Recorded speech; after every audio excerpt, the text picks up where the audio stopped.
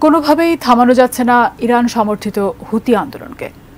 ইয়েমেনের লোহিত সাগরের কিছু অঞ্চলের নিয়ন্ত্রণে থাকা হুতিদেরকে এবার হুমকি দিল মার্কিন প্রেসিডেন্ট জো বাইডেন। এর আগেও যুক্তরাষ্ট্র ও পশ্চিমারা হুমকি দেয় হুতিদের, তাতেও লোহিত সাগরে জাহাজের ওপরে হামলা বন্ধ হয়নি। মাহমুদ সোহেল বিস্তারিত জানাবেন।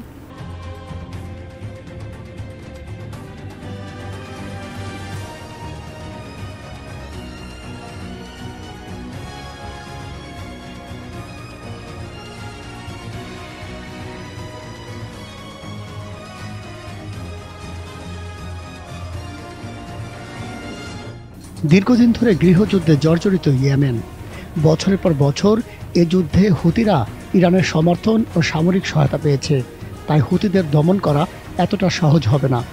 লন্ডন ভিত্তিক গবেষণা সংস্থা ইন্টারন্যাশনাল ইনস্টিটিউট ফর স্ট্র্যাটেজিক স্টাডিজের অনুমান, হুতিদের সামরিক বাহিনীর সদস্য সংখ্যা বিশ হাজার।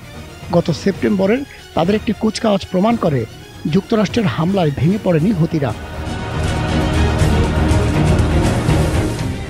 এবার লোহিত সাগর ইস্যুতে মার্কিন প্রেসিডেন্ট জো বাইডেন হুমকি দিল হুতিদের।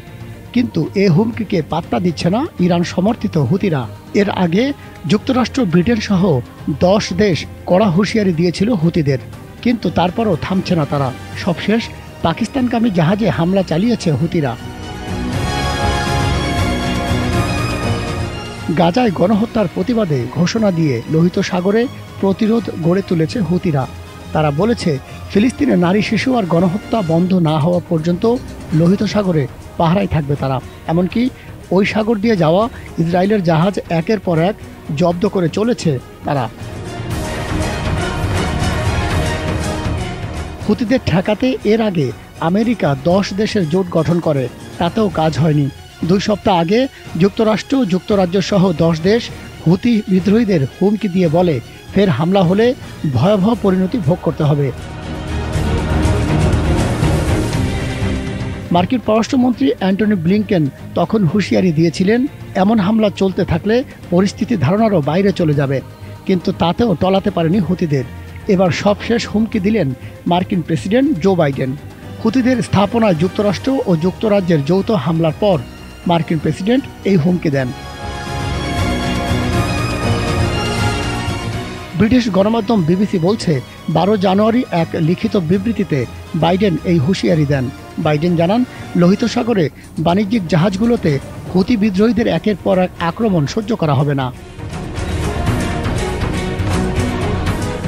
বিশ্বের অন্যতম গুরুত্বপূর্ণ বাণিজ্যিক রুটে চলাচলের স্বাধীনতাকে বাধাগ্রস্ত করা মেনে নেবে না যুক্তরাষ্ট্র ও তার মিত্ররা। মার্কিন প্রেসিডেন্ট হুঁশিয়ারি দিয়ে বলেন, আমাদের জনগণকে রক্ষার জন্য এবং আন্তর্জাতিক বাণিজ্যের অবাধ প্রবাহকে ঠিক রাখতে আরও পদক্ষেপ নিতে যাচ্ছে যুক্তরাষ্ট্র। এর আগে ইয়েমেনে হুতিদের স্থাপনা লক্ষ্য করে ব্যাপক হামলা চালিয়েছে আমেরিকা ও ব্রিটেন। ইয়েমেনের রাজধানী সানা, লোহিত সাগর বন্দর সহ হুতিদের শক্ত ঘাঁটিতে এ হামলা চালায় দেশ দুটির সেনাবাহিনী। তবে এতে হতাহতের কোনো খবর পাওয়া যায়নি। গাজায় হামাসের সমর্থনে গত অক্টোবর থেকে লোহিত সাগরে পাহারা বসিয়েছে হুতিরা। সুয়েজ খালের দক্ষিণ অংশ দিয়ে যাতায়াত করা জাহাজের উপর হামলা অব্যাহত রেখেছে তারা। বিষয়টি এখন ভূ রাজনীতির ইস্যু হয়ে দাঁড়িয়েছে। মধ্যপ্রাচ্যের সাবেক মার্কিন কমান্ডার জেনারেল জোসেফ ভোটেল আশঙ্কা করেছেন, লোহিত সাগরের সহসা হুতিদের হামলা বন্ধ করা যাবে না। Mahmud Sohel ATN News.